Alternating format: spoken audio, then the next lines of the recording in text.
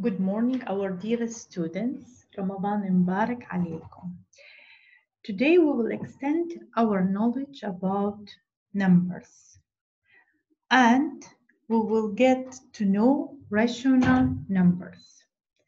So, rational number is any number that can be written as a fraction p over q, where p and q are integers and q does not equal to zero.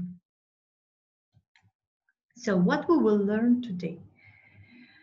Today we will learn how to graph rational numbers on a number line, how to compare and order rational numbers, and how to convert fractions into decimals and identify the type of decimals. So let's start. Of course, all of you remember natural numbers are the set of counting numbers. If I will ask you to count, so all of you, you will count for me like one, two, three, four, and so on. If to the counting numbers, we will add a zero, so that means I'm talking about the whole numbers. So whole numbers are the set of natural numbers with zero included. So it's zero, one, two, three, four, five. And now all of you, you know, we have negative numbers and we have positive numbers. Okay, so integers are the set of whole numbers and their opposites along with zero. So that means negative 2 and 2, negative 1 and 1, and 0 is a quarter. So now we will extend our knowledge. Have a look. You have a picture in front of you, right? So the yellow circle shows you whole number. That means only positive number with 0. If I will extend the blue circle, so what did I do? I add ne negative numbers to the positive numbers. So that means I have integers. Okay. But in our real life, we are not dealing only with the whole numbers, right? We have so many different numbers, like for example, decimals, fractions, whole numbers, okay? Mixed numbers, mixed numbers in fraction form, mixed number in decimal form, positive and negative numbers. So all of them together, all of them together, it will be rational numbers. So in mathematics, rational number, a rational number that can be written as a fraction.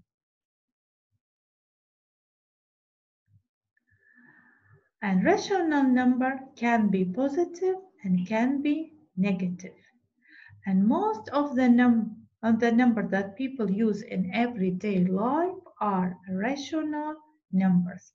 So rational numbers include fractions, include integers, include decimals, okay, percent. So all of them are rational numbers. So the main definition of rational number is a number that can be written as a fraction a over b where a and b are integers and b does not equal to 0. But every rational number can be expressed as a decimal by dividing numerator by denominator.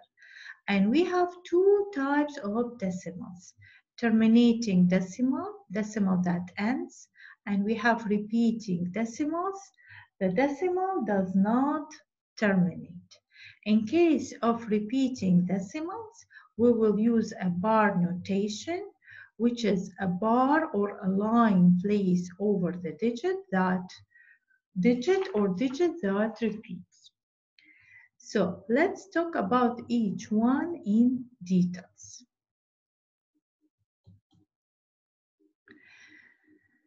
So, today's vocabulary as terminating decimal, repeating decimals, bar notation, and rational numbers. Have a look at first example. We need to convert fractions into decimals. Why into decimals? Because we are more familiar with decimals and in our real life, we are dealing with the decimals more often than fractions. And for us, easy to compare numbers in decimal forms than, than in fraction. So how to convert fraction into decimals? By long division. So what do we need to do? We need to divide numerator by the denominator. So let's divide 5 over 16. So 5 over 16 gives you 0. So that means I will place a decimal point and I will add 0 to the 5. Now, 50 divided by 16 gives me 3. 3 times 16 gives me 48. 50 minus 48 gives me 2. So I will add a 0. So 20 divided by 16, 16. Again, I will subtract. I will get 4. Then to the 4, I will add 0. 40 divided by 16 and so on. So, but you can see at the end, okay, I have a 0 at the end. So that means this is a terminating decimal because it's end. And my answer is 0 0.3125. Have a look at second example. I need to divide 13 by 33.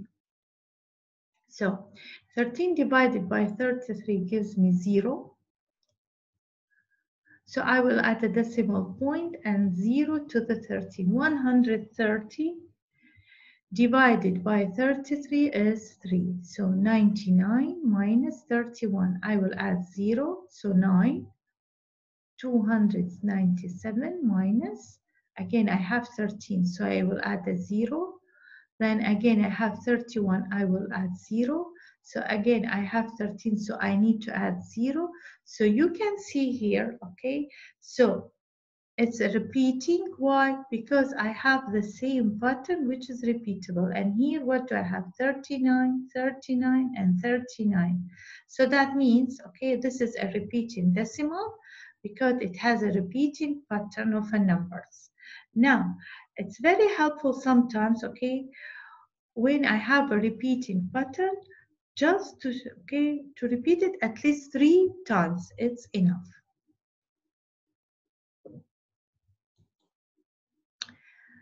Now, one more example, so let's do it together. So first of all, what do I need to do? I need to divide 5 by 12 long division. So you can see, right?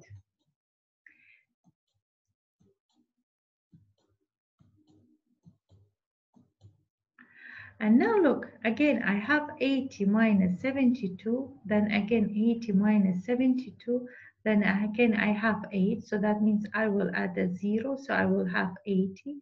80 divided by 12, so 6 and 72 minus, so again, and so you can see the remainder will never be a zero. So in this case, I can stop it. And how I will write my answer? So 5 over 12 is 0 0.4166 or I can write it only 0 0.416 and place a bar notation above digit 6. Why above only digit 6? Because only digit 6 is repeatable. So I have to be very accurate when I'm placing a bar notation. One more example. So here I have a negative fraction and I need to rewrite it as a decimal. So when we have a negative fraction, Okay, the process is the same. We will divide as with the positive fraction and write the negative sign in front of the decimal on the other end. Okay, so let's do it together. So I will divide as a positive fraction. The process is the same. So divide 2 by 9 and you can see the answer and we have the pattern, right? The pattern, as we said, it's enough to do it only three times. So to make sure, so number is repeatable. So finally, what do I have? I can say, so negative 2 over 9 equal to the negative 0 0.222, or I can write only as 0 0.2 and place the and place bar notation over the digit 2.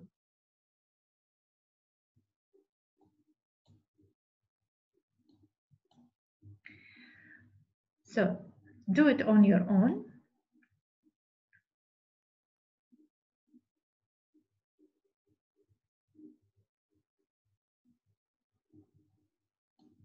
And I hope all of you, you got the same answer, 0.1. And we have a bar notation about digit 1. So please, all of you, have a look here.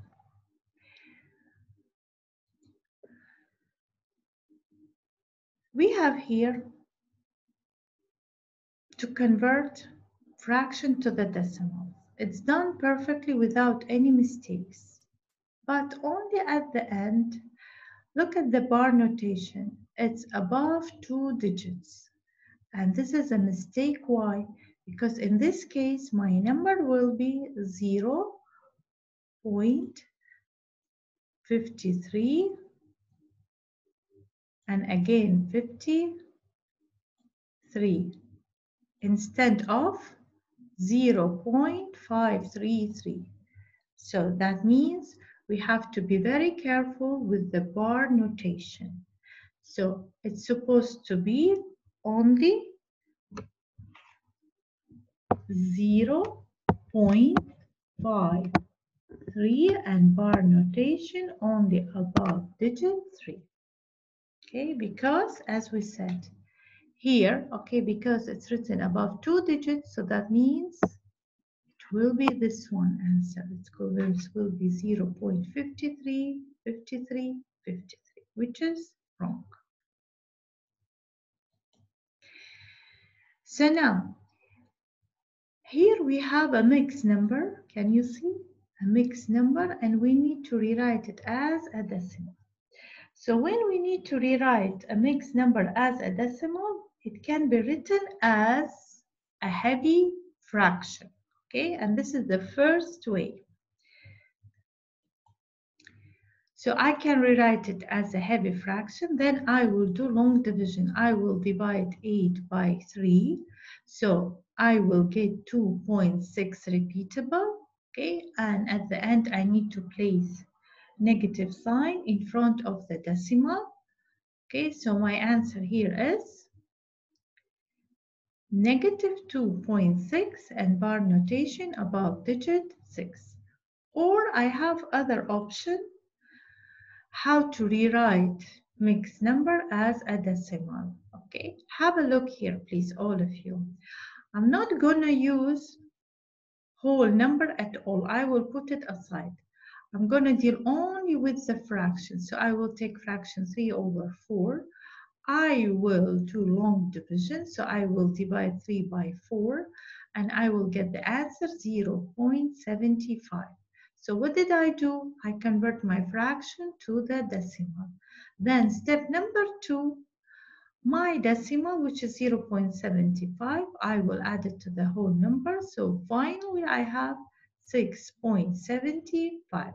So in case if we have a mixed number, we have two ways to convert it to the decimal. To rewrite it as a heavy fraction and do long division, or I can work only with the fraction and at the end, I will add whole number to the decimal. Both ways are correct. It's up to you how to do it. So let's do for first example. We have to compare two numbers. In this type of questions, we have two steps. First step, I need to rewrite, I need to rewrite my fraction as a decimal. So step number one, I will divide three, I will divide three by eight. Okay, so of course it will be zero point then I will add. So I have 3 So minus 24, 6, I will add 0. So 7, 7 times 8 gives me 56. So 4, I will add 0, so 5. So minus 40, so 0, 0. So that means negative 3 over 8 equivalent to the negative 0 0.375. Step number 2, I will compare them. So step number 2, on this side I have negative 0.375. On other side I have negative 0.413. So here I will compare by place value. So let's do it together. So I have ones and ones, zero, it's the same. Then decimal point, decimal point. Then what do I have? Three and four, okay? So which number is greater? Negative three or negative four? Of course, negative three is greater than negative 4 because negative 3 is closer to the 0. So that means 3, I can say 3 over 8 negative is greater than negative 0 0.413. Let's do next example. So here we have set of rational numbers and we need to list them from the greatest, from the least to the greatest. Okay, so now, first thing, what do we need to do? We need to rewrite fractions as a decimals. So now I need to rewrite this number. So it will be negative 2.88. And this number is negative 2.1. And here, what do I have? Negative 0.46. So now I have to compare those three numbers.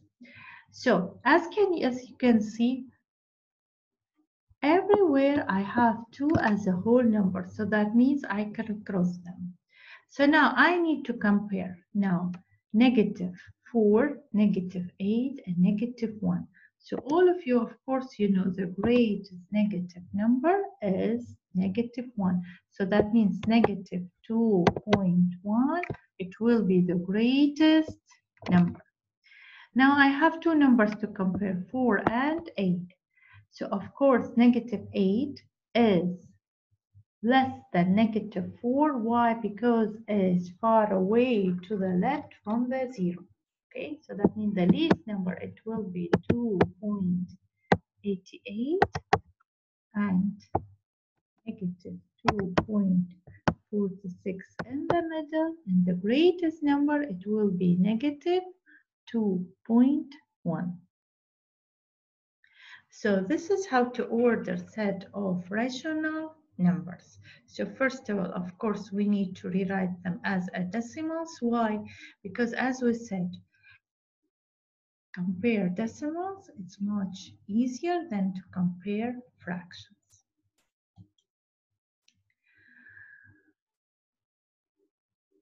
Now have a look at this question. Here we have four numbers in the table, okay? So we need to convert them to the decimals. Then we need to order from the least to greatest, okay? So step number one, as we said, we need to convert. So let's do it together.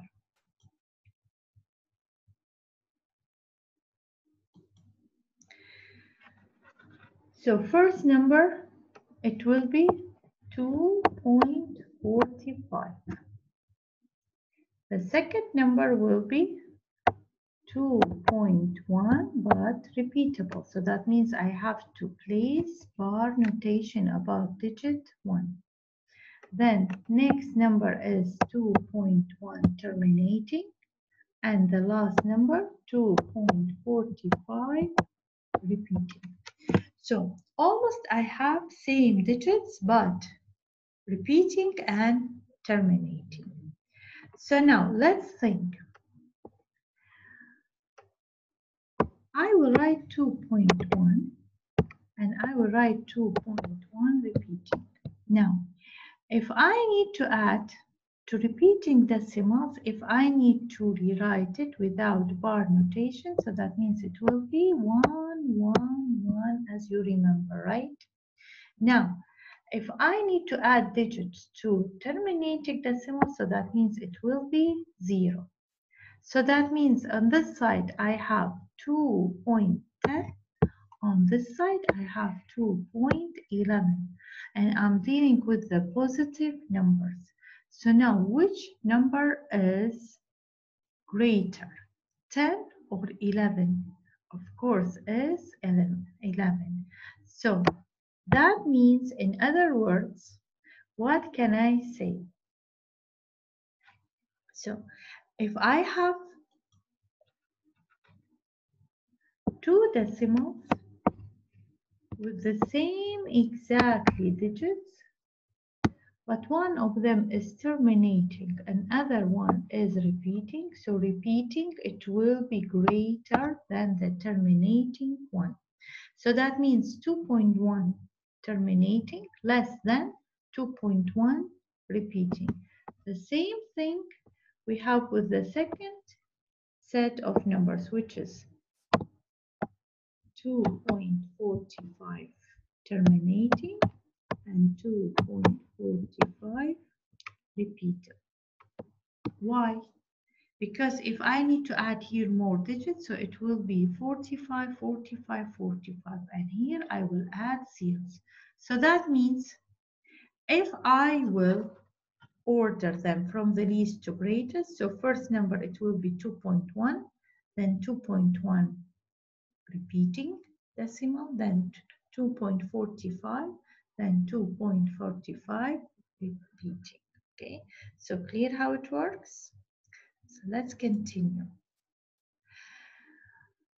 And now we will talk about how to graph set of rational numbers. So first of all, of course, we need to convert, we need to convert fraction to decimal. So in our case, if I will divide 1 over 5, so that means I have 0 0.2 negative. Then I have a positive number, 2 and 3 over 5. Again, I need to rewrite it in a decimal point, so it will be 2.6 positive. And now have a look. In this set of numbers, I have negative and I have positive numbers. So that means my number line should be with the positive and with the negative parts. When we are have a rational numbers, so that means we are we have to take in our considerations, we have to increase the distance between whole numbers. Of course, it should be equal spaces, but we have to increase the distance among the whole numbers. Why? Because this space we're going to divide into parts to please our fractions and decimals. Usually, usually, okay, we're dividing it in five equal parts. So each part is 0 0.2. So let's do it together. So I have 0, 0 0.2, 0 0.4, 0 0.6, 0 0.8, 1. So 1.2, 0.4, 0.6, 0.8, 2. And the same thing from the other side. Of course, you can divide it by 0.1, but it will be very crowded or you need a bigger space. So it's completely up to you, but usually we are doing by 0 0.2. And now very important thing, all of you, you know, number line is an extendable line from both sides. So that means I can extend it to the left and to the right. And of course, I don't need the whole number line. I need only the part of number line. And you need to decide which part is suitable for you and which one is reasonable for you. Have a look here. I have the greatest number 2.6 positive. That means I didn't exceed 3. So that means for me is enough to take number line from 0 to 3. Because I don't have 4, I don't have 5, so need no need for me to go far away. So now, let's place first number, which is 0 0.2. So 0 0.2, that means it will be on the negative part. It will be on the negative part. And let's find it. So we said our division by 0 0.2, so that means the first one 0 0.2, so that means I will place it over here. Next number is 0 0.7, so let's count 0 0.2, 0 0.4, 0 0.6, 0 0.8. So 0 0.7, it will be in the middle between the 0 0.6 and 0 0.8. Now I have next number, which is 2.6. That means I have to go to the positive side. So this is my 0, this is my 1, this is my 2. Now I have 2.6. So let's count 2.2, 2.4, 2.6. So here I will plot my 2 and 3 over 5. And the last number is negative 1.8. So again, I will move to the negative 1. And then let's count together. So 1.2, 0.4, 0.6, 0.8. So here I will plot negative 1.8. So let's do together one more example. So as we said, we need to grab the set of the rational numbers on the number line. So first of all, I need to rewrite fraction as a decimal. So here it will be 1.7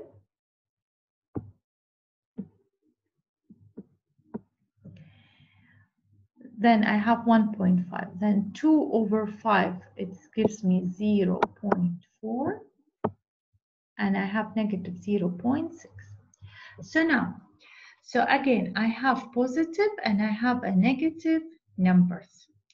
So that means my number line should be with the positive and with the negative side. My greatest number is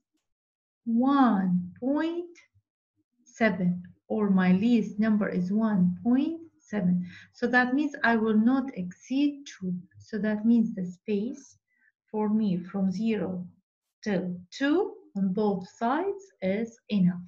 Why? Because I'm not gonna move okay i'm gonna gonna move okay after two so let's start so first number is negative 1.7 so this is my zero my negative one let's count 1.2 1.4 1.6 1.8 so that means it will be here in the middle i will plot it over here Okay. Now, my next number is 1.5. So this is my 1. So let's count 1, 2, so 0 0.2, 0 0.4, 0 0.6. So that means I'm going to plot it over here between 0 0.4 and 0 0.6. Now, next number is 0 0.4. So start from 0 0 0.2, 0 0.4, so it's over here. And the last number is 0 0.6, so let's start 0 0.2 negative, 0 0.4 negative, and this is 0 0.6 negative. Now I need just to write the numbers. So here is 1.7 negative. Here I have negative 0 0.6. Here I have positive 0.4 and the last number is 1.5 is over here 1.5 positive. So this is thank you for all of you رمضان كريم تقبل الله صيامكم وكل عام وانتم بخير